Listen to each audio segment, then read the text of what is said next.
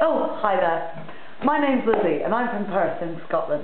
Now my green dream is that we could all plant our own technology, grow our own mobile phones, cameras, washing machines, all that kind of thing.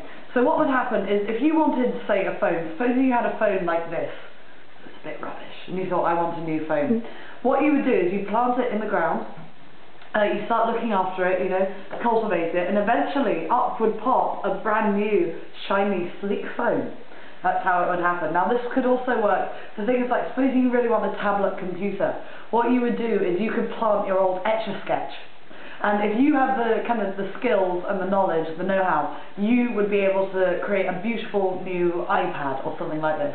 So the more technology, you know, the more horticulture skills you had, the better things you could grow, like 3G, all this kind of thing.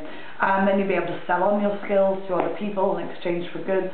Um, and like I say, this could work all the way up to dishwashers, any kind of technology, maybe even a car. Um, that obviously would run in a very eco-friendly way. So that's my green dream, and if you can make that help, if you can make that happen, that would be brilliant.